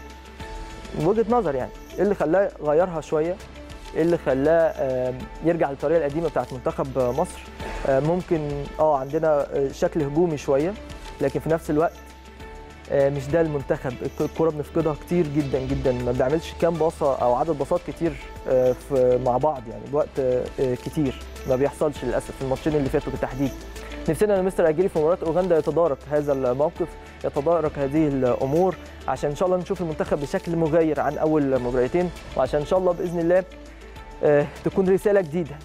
في رسالة وصلت للناس في رسالة وصلت للمنتخبات الأخرى اللي بتنافس على اللقب. رسالة للأسف سلبية مش إيجابية قوي آه، هم شايفين المنتخب هينافس على البطولة أو منتخب مصر هينافس على البطولة بحكم إن هو بيلعب على ارضه وسط آه، جماهيره. لكن إحنا عايزين رسالة بداية من مباراة النهارده إن إحنا منتخب تقيل زي الجزائر كده. منتخب تقيل جدا زي السنغال منتخب تقيل قوي زي منتخب المغرب اللي أول مباراة عمل مباراة سيئة أمام ناميبيا وكسب بالعافية لكن المباراه الثانية عمل مباراة كبيرة قوي قوي أمام كوت ديفوار. إحنا في المباراة الثالثه النهارده إن شاء الله عايزين مع طبعا اختلاف والفوارق الموجودة ما بين المنافسين يعني. الكوت ديفوار مش مش زي مش زي أوغندا. أوغندا أضعف من كوت ديفوار رغم إن المنتخب الأوغندي أصبح قوي هذه الفترة لكن مش نفس قوة آه، كوت ديفوار البدنية والفنية بكل تأكيد. لكن في نفس الوقت منتخب آه، أوغندا مهم قوي إن أنت توصل من خلاله رسالة لكل المنتخبات المشاركة في البطولة. والأهم تكون رسالة قوية للشعب المصري إن إحنا إن شاء الله بإذن الله هنكسب اللقب. وهتبقى حاجة صعبة قوي لو لا قدر الله ما كسبناش بطولة الأمم الأفريقية وهي على أرضنا فدي كلها أمور غاية في الأهمية بالنسبة لمنتخبنا الوطني المصري خلال المرحلة الحالية. خليني أعيد على حضراتكم التشكيل المتوقع بالنسبة لمنتخب آه، مصر. في حراسة المرمى هيبقى محمد الشناوي في خط خط الدفاع أيمن أشرف كباك ليفت آه، اتنين مساكين آه، حجازي هيكون موجود جنبه باهر المحمدي والظهير الأيمن هيكون أحمد المحمدي. في نص الملعب طاهر آه، حامد ودونجا هيكون متواجد ويجاور طارق آه، حامد. وفي الأمام كل من تريزيجيه عبد الله السعيد محمد صلاح. وأمامهم إن شاء الله الأقرب طبقا يعني للمعلومات اللي عرفناها هيكون كوكا. لكن لسه في آه، تفكير. هو ممكن يكون خلاص المنتخب استقر على المهاجم يعني لكن لسه في تفكير بخصوص مروان محسن هل يستمر في المشاركة اساسيا ولا آه، يلعب أحمد علي ولا أحمد حسن كوكا. هنشوف الأمور مين آه، مين اللي هيلعب في الآخر. لكن الأهم الأهم إن إحنا عايزين نحس بمهاجم منتخب مصر. عايزين نحس بمهاجم منتخب مصر. لأن برضو الماتشين اللي فاتوا المهاجم آه، المنتخب سواء مروان محسن أو غيره مروان محسن يعني بالمناسبة عمل مباراة جيدة جدا أو عمل مباريات جيدة المباراتين اللي فاتوا وقبل البطولة جاب هدف عالمي في مرمى آه، غينيا وابتدى البطولة بشكل جيد لكن مش موفق في إحراز الأهداف وكمان ما بيوصلوش كور كتير. ودي جزئية لازم نفكر آه، فيها. عبد الله السعيد مش هو عبد الله السعيد بتاع زمان مش هو عبد الله السعيد بتاع السنة دي آه، مع بيراميدز. فالكور قليلة سواء اللي بتوصل لمروان أو اللي بتوصل لمحمد صلاح. ما عندناش غير تريزيجيه ما شاء الله عليه هو اللي بياخد الكرة وبيجري بيها وبيعمل مجهود كويس آه، جدا جدا جدا. نتمنى كل التوفيق إن شاء الله لمنتخب مصر. طيب خلينا نروح ل فاصل. بعد الفاصل فقرة حوارية هامة جدا جدا جدا مع ضيفنا العزيز أستاذ إبراهيم داوود الناقد الرياضي الكبير جدا ومدير تحرير جريدة الكرة والملاعب. وهنتكلم في أمور عديدة تخص المنتخب الوطني المصري قبل ساعات قليلة جدا من مباراة أوغندا النهاردة. استنونا بعد الفاصل. شرفني في الاستوديو دكتور إبراهيم داوود مدير تحرير جريدة الكرة والملاعب يا دكتور منورنا ومشرفنا بسعد بيك دايما باللقاء معاك يا أمير أنا أسعد طبعاً. بسعد في وجودي في بيتي آه، طبعاً. النادي الأهلي. أكيد منور ومشرف دايما وبنسعد أكيد بتواجد حضرتك ربنا أمير. البطوله شغالة والدنيا ماشية بشكل كويس مباريات أكيد قوية نتائج مختلفة رؤيتك وتقييمك للبطولة من الجانب الفني بالتحديد حتى الآن آه، حتى الآن ال- البطولة لم تكشف عن كل أسرارها تمام صحيح آه، في مؤشرات آه، ظهرت في بعد انتهاء الجولتين. يمكن صنفتها أنا على أربع كاتيجوري. تمام. الكاتيجوري الأولاني اللي هو أصحاب المستوى المرتفع والثابت ودي لقينا فيهم الجزائر والمغرب كويس. بأداء فعلا، جيد فعلا. وبنتائج جيدة. فعلا. آه، هنلاقي في فرق مستويات متوسطة وللأسف بيتصدر آه، هذا آه، منتخب مصر. يليه منتخب نيجيريا منتخب السنغال منتخب أوغندا منتخب الكاميرون كوت ديفوار غانا تونس جنوب أفريقيا وانجولا. هنلاقي في فرق حققت مفاجآت وغير متوقعة سواء على من ناحية النتائج أو من ناحية الأداء زي مدغشقر مثلا. بمناسبة مدغشقر خلينا نقول النتائج حتى الآن في المجموعة الثانية. مباراة مدغشقر ونيجيريا. الشوط الأول خلص 1-0 لمدغشقر في مفاجأة كبيرة جدا وبالنتيجه دي لو خلصت كده المباراه هيبقى هم أول مجموعة ونيجيريا تاني. وغينيا متقدمة على بروندي بنتيجة 1-0 كده. غينيا هتبقى من ضمن أفضل أربع توالت هيتأهلوا للدور المقبل. ف 1-0 حتى الآن لغينيا. الشوط الأول خلص وهيبتدي خلاص الشوط الثاني بمناسبة مدغشقر إذا انتهت النتيجة دي بالتعادل أو بفوز مدغشقر أنا هتبقى احتلت في الثلاث جولات لقب الحصان الأسود. للدور الأول فهتبقى. مدغشقر هي صاحبة هذا اللقب بلا منازع مم. عندنا فرق تانية زي غينيا مثلا هي متقدمة الآن على بروندي إذا. إذا نجحت في إن هي آه، تصل بال بال بالنهاية هتبقى أحد الفرق المرشحة للتأهل للدور الثاني وكانت من الفرق غير المرشحة تمام عندنا منتخب من ناحية ال ال النتائج والأداء برضو مالي من المنتخبات الكويسة آه، جدا وجيدة. ليه؟ لأن مالي في السنوات الأخيرة مش هي مالي بتاعت زمان فإحنا بنقول إن مالي بتستعيد موقعها الطبيعي. آه، عندنا في فرق حققت على صعيد النتائج آه، نتائج كويسة في الجولتين زي كينيا وزي بنين. آه، وفي فرق حققت على صعيد الأداء ولكن لم تحقق على صعيد النتائج. آه، برضو أدائها كان مفاجأة لينا زي؟ موريتانيا اللي هي المشاركة الأولى بالنسبة طبعا. لها. وزيمبابوي. زيمبابوي قدمت معانا مباراة جيدة جدا ثم مباراة غاية في الروعة قدام آه، أوغندا. أوغندا فعلا في بقى مستويات ضعيفة آه، دي كانت واضحة جدا للعيان. يمكن المفاجأة في المستويات الضعيفة على رأسهم كان آه، الكونغو الديمقراطية كان متوقع منها إن هي آه، تقدم مستوى أفضل أقوى من كده. أو أفضل من كده.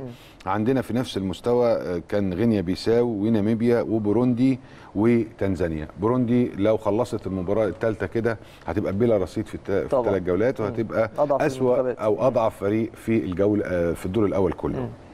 في البطولة يعني. في البطولة. محصلة الجولتين آه، يمكن إن النهارده إحنا بنقول إن من سنة 57 ولحد النهارده أول آه، يعني هتحقق رقم قياسي لأول مرة يحصل عدد في تاريخ. البطولات. آه. لا مش عدد الأهداف عدد المباريات. عدد المباريات. في آخر آه، منذ آه، اتساع البطولة ل 16 فريق من من 12 فريق ل 16 فريق مم. كانوا 8 12 16 وحتى بطولة ال- آه، النسخة الماضية في الجابون آه، واللي أحرزتها ال- الكاميرون آه، هنلاقي إن كانت مباراة الدور الأول بتشهد 24 مباراة. تمام. النهارده تح- تحطم هذا الرقم لما اتلعبت المباراتين اللي هم بيتلعبوا. وإحنا آه، أو 26. الشوط الثاني هيبدأ حالا يعني آه. أو بدأ هنلاقي إن إحنا وصلنا ل 26 مباراة. طبعا ال- الرقم ده هينتهي بنهاية الدور ال- ال- الأول هيرتفع ل 36 مباراة. كويس. وهو آه، مقارنة ب 24 يعني في 12 مباراة زيادة بلس الأربع مباريات بتوع الدور ال 16 يعني عندنا 16 مباراة زيادة في البطولة دي. تمام. طيب فنيا شايف إن البطولة جيدة ولا لسه شوية؟ الأدوار المقبلة هنشوف أداء فني أفضل وأكبر من المنتخبات المشاركة. الظاهرة ال- ال- ال- اللي تحدد لك المسار إذا كانت البطولة دي مرتفعة فنيا أم أم أم عادية أم ضعيفة هي ظاهرة المعدل التهديفي في البطولة. تمام. برغم ارتفاع العدد الكبير ل 24 منتخب لأول مرة إلا إننا بنلاقي إن الجولتين شهدوا 43 هدف.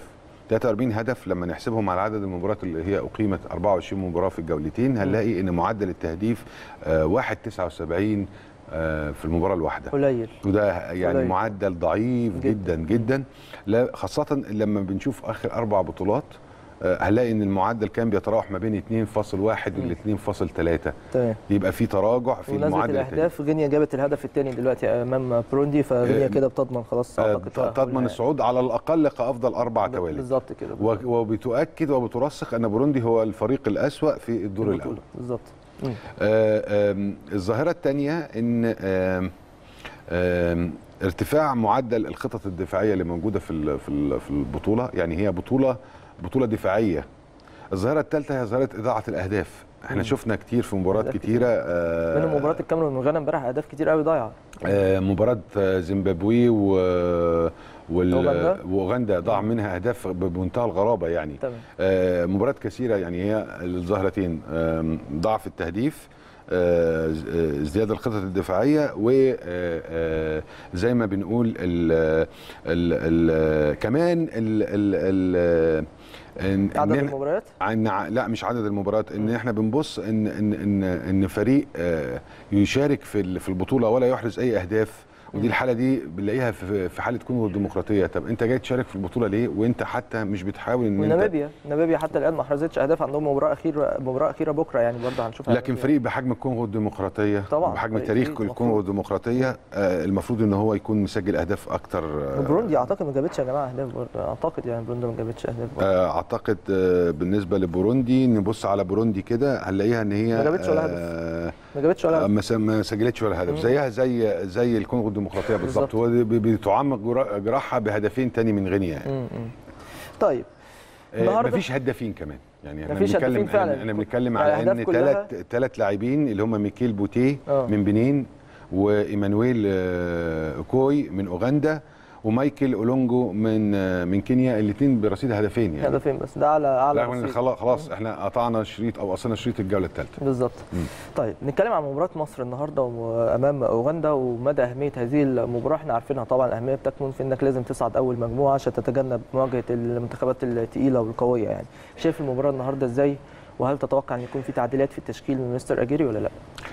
المهم أنا هخش المباراة إزاي كحسابات للجهاز حلو. الفني؟ حلو. أنا شايف إن أنا غامر. وأعمل ريسك ولا أتحفظ طيب أنا هتحفظ هلعب على النقطة هضمن صدارة المجموعة فلا داعي للمجازفة كويس لا طيب. داعي للمجازفة لا داعي للمجازفة.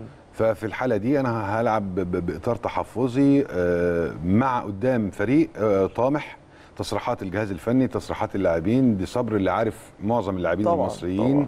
بما انه كان مدير فني الاسماعيلي يعني بحكم. إنه كان مدير فني الاسماعيلي وكمان تصريحاته بقت استفزازية في الساعات الأخيرة يعني. قال قال حاجة ثانية آه يعني هو بيتحدى منتخب مصر بيقول إن هو قادر على ال- الفوز عليه بيقول إن منتخب مصر سيء للغاية وإن هو لم يكن. يتوقع إحنا اللي ادينا. فرصة إحنا بصراحه اللي كده ادينا فرصه إحنا اللي ادينا يعني. فرصة ال- الحقيقة ال- ال- آه، مصر آه، أو منتخب مصر النهارده لو استطاع إنه يحقق الفوز هيبقى حقق العلامه الكامله.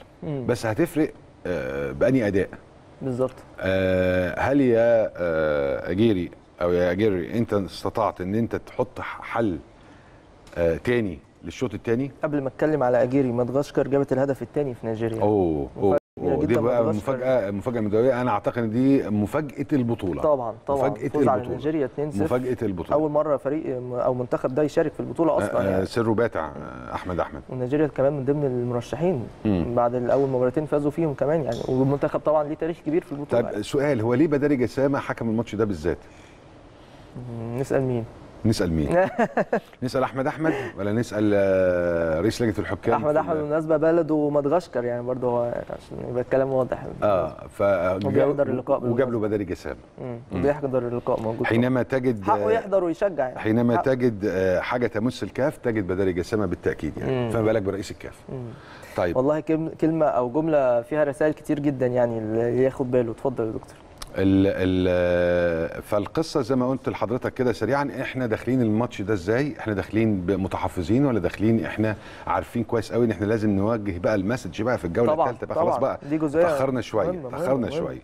فهن فهنستطيع إن إحنا نو- نوصل ال message ده مم. آه آه ولا لأ؟ آه عندنا إمكانيات إن إحنا نوصل ال message ده ولا لأ؟ عندنا آه نقدر نقدر نقدر. نقدر. نقدر إزاي؟ كويس. إن أنت آه، تلعب لعبك البسيط السهل تستغل العنصر الجمهور آه، ال mechanism بتاع الفريق بقى محتاج يتظبط. الحتة الفردية اللي شفناها من محمد صلاح آه، إن هو آه، كانت في أول ماتش بس بصراحة يعني. وأعتقد إن هي برضو ما زالت طاغية في الماتش الثاني باستثناء الهدف اللي هو إن هو. سجله. لكن أنا شايف إن هو لو اتغيرت دي وبقى المكون إن كله بيلعب لصالح منتخب مصر وصالح أداء منتخب مصر. واتبعدت ال- الحتة الفردية شوية أعتقد ان ان إن إحنا نكون قادرين نحقق فوز سهل بس يا دكتور برضه عايز أقول لحضرتك على حاجة إحنا ما كناش عارفين نباصي خمس باصات مع بعض ورا بعض ليه يعني ليه أه. ليه النقطة دي واضحة سلبية جدا في منتخب مصر الماتشين واضح إن. الإعداد البدني مش مكتمل إعداد بدني. إعداد بدني مم. طبعا. ما أنت لما تكون زي بدنيا مش مكتمل هتبقى ذهنيا مش مكتمل. مم. هتبقى آه، كمان قدرتك على ال mispass ما هو ال mispass بيظهر من إيه؟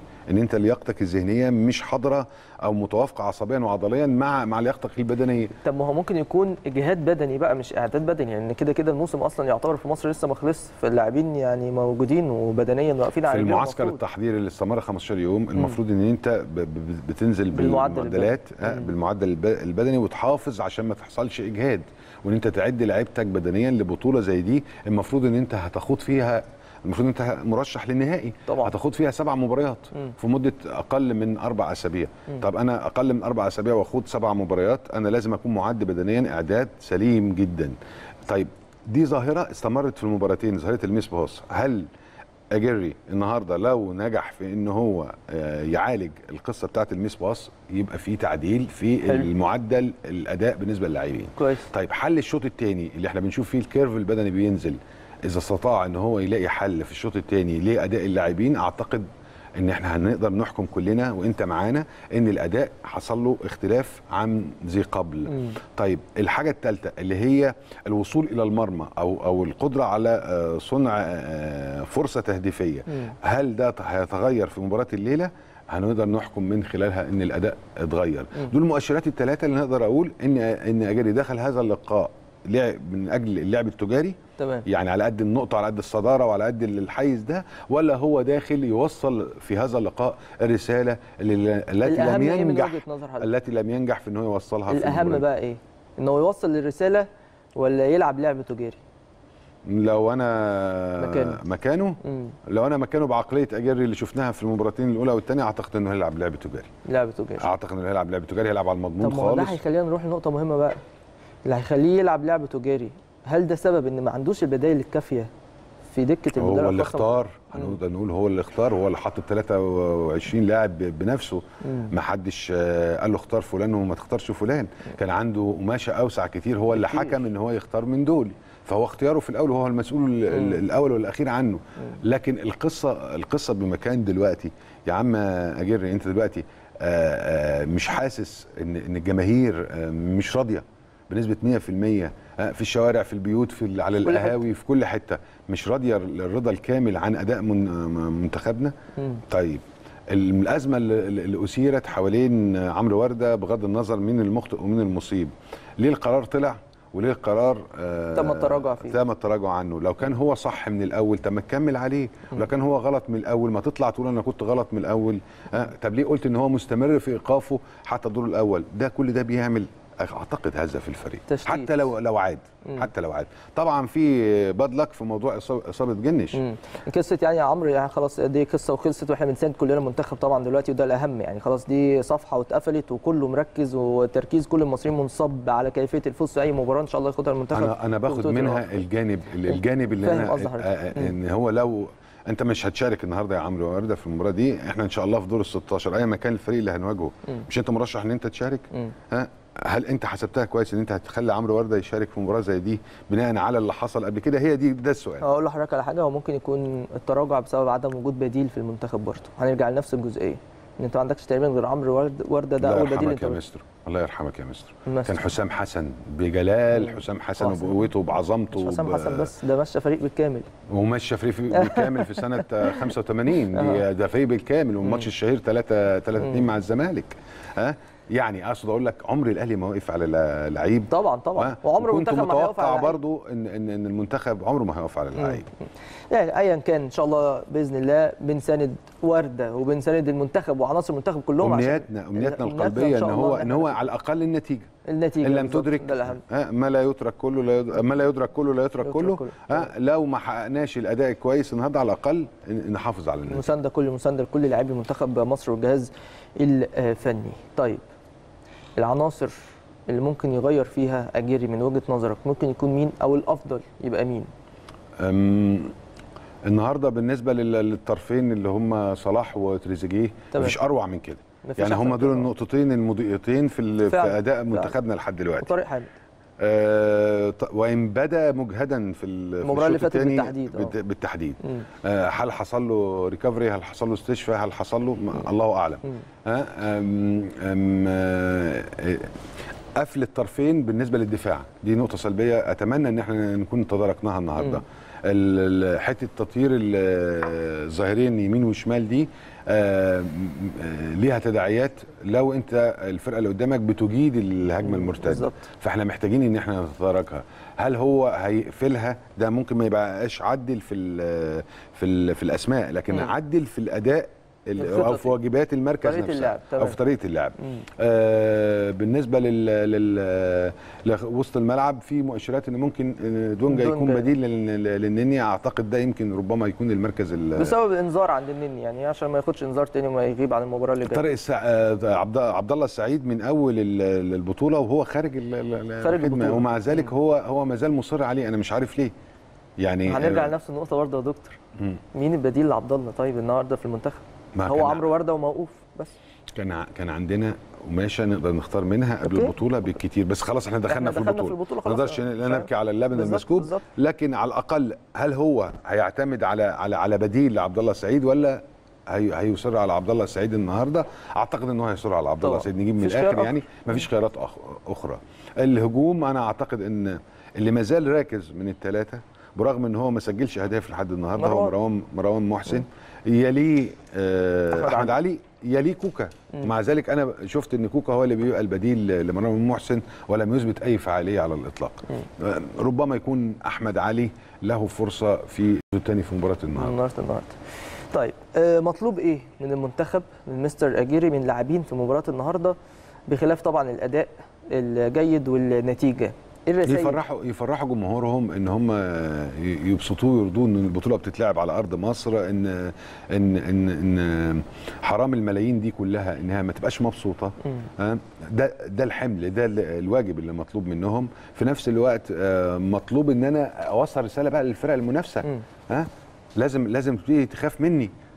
مش هتخاف من الجمهور بس. تمام. ما لازم تخاف من أداء اللاعبين جوه أكيد. جوه الملعب. هل نجاح البطولة تنظيميا مرتبط بفوز مصر ببطولة الأمم الأفريقية؟ لا لا لا على الإطلاق. إحنا. شفنا دول كتير نجحت بيدعم النجاح فوز منتخب مصر بيدعم نجاح البطولة؟ هو بيدعمها من الناحية الجماهيرية. واللي إحنا بنلاقي يعني استاد القاهرة فول. فعلا. الاستادات ودي ظاهرة برضو من ظواهر البطولة. بس ابتدت تتعدل شوية. يعني المباريات الأخيرة بالتحديد بقينا نشوف جمهور بعد بعد. آه. الدعم والمشاركة لأن كان في حلول كتيرة القوات المسلحة الداخلية طلبة الجامعات الشباب والرياضة الناشئين. يعني في عدد كان ناشئ في مصر في السويس في الإسماعيلية في في اسكندرية. الثلاث محافظات دول أو في أو في القاهرة ممكن لو إحنا إدينا فرصة للناشئين دول ما ده آه،. برنامج تدريبي عملي ليهم فعلا، فعلا. مشاهدة المباريات ممكن يكون مشجعي كرة القدم مستنيين البطوله تسخن شوية مثلا ويروحوا يتابعوا المباريات يعني أك- أكيد أكيد مع مع الأدوار التالية هيبقى برضو آه، يعني خصوصا إن إحنا شفنا مباراه الجزائر الجزائر والسنغال كانت مليانة جماهير المباراة دي آه، واكيد أكيد. هم حجزوا تذاكر المباراة دي عشان عارفين مدى قوة المنتخبين يعني أكيد. فإن شاء الله نتمنى حضور جماهيري أفضل وأكبر خلال المرحلة اللي جاية إنما طبعا آه، وصول مصر لادوار متقدمه بيساهم في نجاح البطولة من الناحية الجماهيرية. لأن الجماهير بتعمل زخم للبطولة. طبعا، طبعا. ومعيار لنجاحها برضه. طيب إن شاء الله في حالة فوز مصر بإذن الله في مباراة النهارده وصعوده كأول مجموعة. تتوقع نواجه مين مين الأقرب لحد؟ دلوقتي كينيا. كينيا ولا جنوب أفريقيا؟ لحد اللحظة دي كينيا. آه كينيا لأن الأولوية للمجموعة الثالثة. آه. كينيا عندها بالظبط ثلاث نقط. آه هتلعب ماتش بكرة أو بعده. مم. آه مع مين؟ كينيا هتلاعب مين؟ نبص على كينيا هتلاعب السنغال. السنغال هتبقى مباراة صعبة. آه. فأعتقد والسنغال محتاجة تكسب. السنغال محتاجة إن تكسب. كده كينيا مش آه، هيبقى مش- فرصها. آه، غير ثلاث نقط بس. مم. وعلى فكرة الثلاث نقط بتوصلك من ضمن التوالي. وارد خصوصاً إن على ما- حسب المجاميع الثانية خصوصا إن لو غينيا وصلت للنقطة الرابعة هنا يبقى أصبح متبقي ثلاث آه ثلاث أماكن. مم. أعتقد محجوزين حتى اللحظة لأصحاب الثلاث نقاط. مم. أعتقد. بس في بعض المجاميع يعني ممكن يوصلوا لأربع نقاط وخمس نقاط كمان. يعني عندك بنين عندها نقطتين ده في المجموعة الخامسه وعندك تونس عندها نقطتين هي وأنجولا. برضو دول ممكن يوصلوا للنقطه رقم آه خمسة. تونس وأنجولا من الصعب إن الاثنين يوصلوا لخمسة. آه هيلعبوا بعض صح. هيلعبوا بعض. هيلعبوا بعض. مم. يعني لسه كلها أمور حسابية. هي حسابات حسابات آه. رقمية لكن هي في النهاية حتى هذه اللحظة طبقا لهذه الحسابات هي كينيا هي الأقرب. لأن برضو صعب إن جنوب أفريقيا تكسب المغرب برضو. جنوب ماتش أفريقيا كمان مش مش تخوف يعني. لا مش يعني تخوف. ادائها أدائها لا لا لا منتخب عادي آه منتخب عادي. عادي جدا مم، آه منتخب عادي. ايا كان اللي عايز يفوز باللقب يقابل أي حد بس برضه الأفضل إن إحنا ما نقابلش السنغال بدري. عشان كده مهم قوي إن إحنا بإذن الله نكسب النهارده أو نتعادل على أقل تقدير صح؟ إن شاء الله. أنا أنا واثق إن يعني إن لاعبتنا قادرة إن شاء الله إنها يعني إن لم ترضنا من ناحية الأداء فهي على الأقل سترضنا من ناحية النتيجة آه، في الت- في التاسعه مساء اليوم إن شاء الله. طيب بخلاف بقى منتخب مصر ان شاء الله نتمنى له كل التوفيق في مباراة النهارده. البطولة بشكل عام بالتحديد المنتخبات اللي لفتوا نظرك بشكل كبير جدا واللي أنت متوقع استمرارهم قولا واحدا. يقينا هم الجزائر والمغرب. بالجزائر والمغرب. الجزائر والمغرب. السنغال أنا؟ مبسوط آه، آم، السنغال فريق قوي بس ما ما اتغلب في الماتش الثاني. اتغلب في لا الماتش منتخب الثاني تقيل برضه الجزائر هو وارد أي حد فيهم يخسر. آه، حلو. طالما إن المواجهة حصلت وإن التفوق للجزائر أكيد إن أنا هعمل أفضلية شوية للجزائر. السنغال أنا بحطها مع فرق آه، زي ال- الكاميرون زي آه، كوت ديفوار زي آه، غانا زي تونس زي كل الفرص آه، متاحة بالنسبة لها. بس كأداء كأداء مم. راسخ ها، لازم تحطهم في الكاتيجوري إيه أكيد يعني الجزائر والمغرب. طبعاً. أكيد. الأقرب منهم بقى اللي ياخد اللقب من وجهة نظرك. مصر, مصر إن شاء الله. إن شاء الله. لكن مصر. أنا وكل ده بيبقى غيره على منتخبنا. عاوزينها تبقى أحسن. ده. عاوزين عاوزين منتخبنا أحسن. عاوزين أداء أقوى. آه، عاوزين إن إحنا بنصدق نفسينا إن هو الأداء هيسخن مباراة بعد أخرى. مم. كنا بنتوقع ده في في, في مباراة الكونغو. آه، اليوم نتوقعه في مباراة أوغندا. وأنا اتمنى ألا يطول انتظارنا. من أو تطول آه، توقعاتنا آه، كثيرا يعني. إحنا عاوزين نشوف صورة مغايره آه، لفرقتنا بالتحديد لمنتخب مصر هو فيما يتعلق بالجمهور اللي بيحضر المباريات هل شايف إن الجمهور لازم يبقى دوره أقوى من كده شوية؟ خصوصا ما بنسمعش بيشجعوا ما بنسمعش المؤازرة بتبقى قوية. الكل قاعد بيتمتع بالمباريات رغم إن الأداء مش جيد. لكن بالتحديد في مباريات مصر هل مطلوب أمور معينة من الجماهير المصرية تحاول تحاول تقولها لهم من خلال آه، شوية شوية تنظيم شوية آه، إن إن يبقى في آه، قواعد تفاعل مع تفاعل. مع مع الحدث. أنا شايف إن فرقتي محتاجة المساندة في اللحظة دي. يبقى لازم بالعكس ده لا قدر الله لو منيا مرماك بهدف ده, ده بيبقى أكثر احتياج للجمهور في الوقت ده. بالظبط كده. آه، آه، محتاجة تنظم نفسها محتاج يبقى في قائد للمجموعات محتاج يبقى في هتاف واحد شعار واحد لل... ب... ب... ده كلمة مصر مصر مصر مصر. لو ترددت بس بالظبط، بس بس في اللحظة والتوقيت المناسب كافية. آه، أحسن من كلمة آه، شد حي... شد حيلك يا بلد وبتدي معنى إن إحنا مش مش كويسين. لكن بتهبط من الع- كفاية كلمة مصر. آه. كفاية كلمة مصر إنها تتردد لل 70 ولا 80 ألف اللي حاضرين في الاستاد آه، ب- ب- ب- بهدف واحد بمضمون واحد في لحظة واحدة. دي دي كافية جدا إن هي إيه تستنهض همم اللاعبين. آه، نتمنى إن الجمهور يكون واعي وفاطن إن هو إمتى يلجأ لهتاف مصر ده. في في البدايه في بداية المباراة في ال في ال في, ال في اللحظات اللي أنا بشوف فيها تراجع لأداء آه، مم. لعيبتي سواء البدني أو سواء الخططي أو سواء المهاري. آه، في اللحظات اللي أنا بشوف فيها منت- منتخب المنتخب بتاعي مضغوط أو لعيبتي مضغوطة. لما بلاقي آه، miss pass كتير. كل ده اللحظات اللي أنا محتاجك فيها كجمهور مساند وحاضر في المدرج إن أنت تساند فرقتك وتكون على كلمة واحدة وأحسن هتاف مصر. طبعا. ممكن يكون المنتخب مش محظوظ شوية في البطولة دي وده ممكن بيتمثل كمان بخلاف أزمة عمرو وردة وخلاص قفلناها إصابة جنش طبعا إصابة جنش مم. وده حظ سيء جدا لا قدر الله لو قدر أو الله في سيناريو. مرعب في آه. سيناريو مرعب لا بيتمثل قدر الله مثلا يعني إن إيقاف آه، حارس. أو إصابة حارس. إيقاف حارس أو إصابة. زي ما حصل مثلا في بطولة الجابون. شفنا الحارسين آه، شريف إكرامي وأعتقد كان أحمد الشناوي الاثنين أصيبوا مرة آه، واحدة. بالظبط بالظبط. آه، فأصبح. ما فيش إلا الحضري هو محظوظ الحضري آه مفيش فايدة. ف- فكانت النتيجة إن إحنا بقينا نلعب بحارس واحد. وحارس مصاب موجود على على الدكة. فلا قدر الله لو حصلت إصابة أو حصلت آه، لا قدر الله لا قدر الله أو حصل إيقاف هيبقى منتخب مصر في ورطة. لأن هنا هو طبعا كل الاحتياطي بيشارك على دكة ال- البدلاء لكن في كل الأحوال إذا تم الاحتياج هيكون الاحتياج للاعب. لحد دلوقتي لم تكشف ال- ال- المصادر منه تتحط في الظرف بقى هتشوف مين اللي ممكن ي... بس لا قدر الله يعني مش عايزين نتعرض للظرف ده لأن الأمور هتبقى صعبة جدا جدا يعني وإحنا مش اللي أنا. أعرفه إن أكتر واحد بيقف حارس مرمى يمكن مروان محسن. والله. آه، هل هيجي من من من, رأس الحربة اللي يتولى حراسة المرمى؟ أتمنى ان نشاهد هذا المشهد يعني. مم. نتمنى إن شاء الله كل التوفيق لمنتخبنا الوطني المصري في مباراته اليوم وهي مباراة أكيد غاية في الأهمية بالنسبة للمنتخب. يا دكتور أنا بشكر حضرتك شكرا جزيلا نورتنا وشرفتنا. أنا سعدت باللقاء بيك ودايما بسعد بيك يا أنا امير أسعد طبعا. بشكرك شكرا جزيلا. ده كان لقائنا مع دكتور إبراهيم داوود مدير تحرير جريدة الكرة والملاعب. واتكلمنا في أمور كتير جدا بتخص البطولة نفسها الجانب التنظيمي وفيما يتعلق كمان بمنتخب آه، مصر. خلينا أقول لحضراتكم سريعا النتائج حتى الآن في المباراتين اللي بيتلعبوا. غينيا بروندي 2-0 لغينيا. مدغشقر ونيجيريا. 2-0 لمدغشقر. النهارده بالليل بإذن الله الكونغو مع زيمبابوي الساعة 9 في المجموعة الأولى بجانب مصر وأوغندا في نفس التوقيت. بالتالي كل التوفيق والدعوات من المصريين للمنتخب الوطني المصري إن إحنا نشوف باذن الله أداء جيد الأهم إن إحنا نشوف نتيجة جيدة لأن الأكثر أهمية هو احتلال صدارة المجموعة وإنهاء هذه المرحلة كمتصدر للمجموعة بتاعتك بالتالي تتجنب مواجهة الكبار مبكرا. هتواجههم هتواجههم بس كل ما يبقى الأمور متأخرة شوية كل ما أنت تبقى جاهز بشكل أكبر كل ما أنت يبقى عندك تركيز بقدر أعلى. أكيد نتمنى ودعواتنا كلنا بإذن الله المنتخب الوطني المصري النهارده في مباراة أوغندا الفوز أو على الأقل تقدير تعادل بإذن الله. نشوف أداء جيد ونتمتع بمباراة النهارده. إن شاء الله ما تنسوش الساعة 9 مساء أكيد مش ناسيين. دي كانت حلقتنا من كلام في الميديا النهارده. استنونا حلقة جديدة بكرة إن شاء الله نكون بنبارك فيها لمنتخب مصر. إلى اللقاء.